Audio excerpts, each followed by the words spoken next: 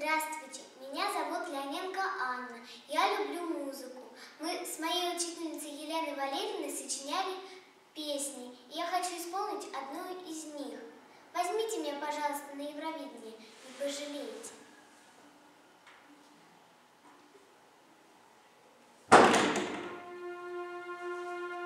thank you